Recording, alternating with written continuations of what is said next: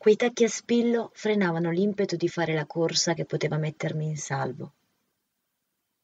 Non potevo rischiare di rompermi un braccio, cadendo da quei maledetti dodici centimetri che si erano attaccati alle caviglie a causa di una stupida scommessa fatta un'ora prima di trovarmi in quella strana situazione. Avrei voluto lanciare quei sandali quei sandali estivi muniti di un laccetto argentato che assicurava la giusta presa al collo del piede nel primo bidone verde, quello dell'indifferenziata, ancora prima di arrivare al bivio e di trovarmi davanti a quel quadro inaspettato. Davanti al circolo si stava dileguando molta gente in segno di avversione alla negata tranquillità del momento. Qualcuno con aria circospetta cercava l'incontro degli occhi che, protagonisti dei volti di quei giorni, sbucavano dalle mascherine. Intanto l'acqua che fuoriusciva sempre più velocemente dalla casa, che si affacciava sugli scalini della piccola piazza, sembrava non conoscere destinazioni, affondava senza riguardo ogni cosa che si trovava nella sua direzione. Volevo allontanarmi, seguendo gli attimi scanditi dalla fuga, il mio pensiero andava oltre la mia tanto augurata incolumità e mi diressi verso quei gradini, come attirata da qualcuno che chiedeva aiuto. Solo io potevo sentire, non ero neanche così certa. Forse quel richiamo non era una voce, poteva piuttosto somigliare al lamento di un violino abbandonato. Riuscii finalmente a liberare i miei piedi da quelle fibbie color argento e privilegiai la mia curiosità andando verso quel suono, così pareva, delicato e insistente. L'acqua che si stava impadronendo fino a qualche istante prima della piazzetta sembrava ora orientarsi verso le piccole aiuole fiorite che decoravano i contorni delle rimesse per biciclette. Feci i gradini che portavano all'entrata della casa, intrappolando lo sguardo verso qualcosa di mai visto prima d'ora. Ero sola, non potevo condividere con altri lo stupore che provavo. Avevo una grande voglia di bellezza.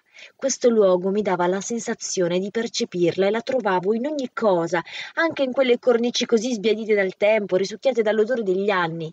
Dalla finestra che si trovava sulla parete opposta alla porta d'entrata giungeva un insieme di versi di galline e di pulcini, con le chiocce costantemente preparate a ricevere sotto il folto e morbido piumaggio i loro piccoli che, saltellando con fare allegro e buffo sulle esili zampette, con quel piu piu piu cercavano di allargare sempre di più il cerchio del loro mondo. Che bello!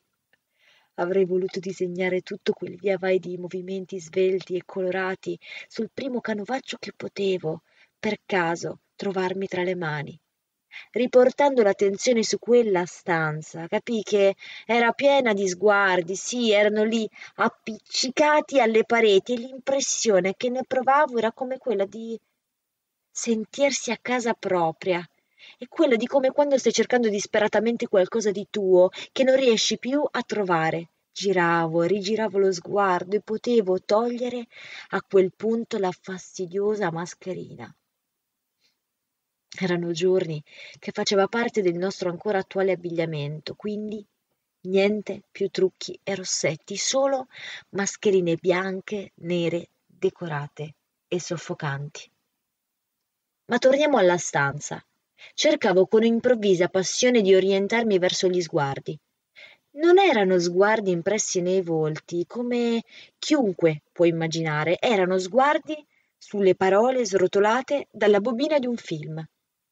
Quelle parole avevano una grande voglia di cercare in se stesse il proprio significato e il tempo di cui non erano più parte, lasciando trapelare silenziose e infinite architetture, quelle parole sussurravano, guardavano, abbellivano e profumavano l'aria, uscivano dal nastro della vecchia bobina e si muovevano, danzavano, si prendevano per mano cercando di avvicinarsi, di allontanarsi, di contraddirsi, di cercare in mille dubbi quelle risposte che lasciano altrettante incertezze.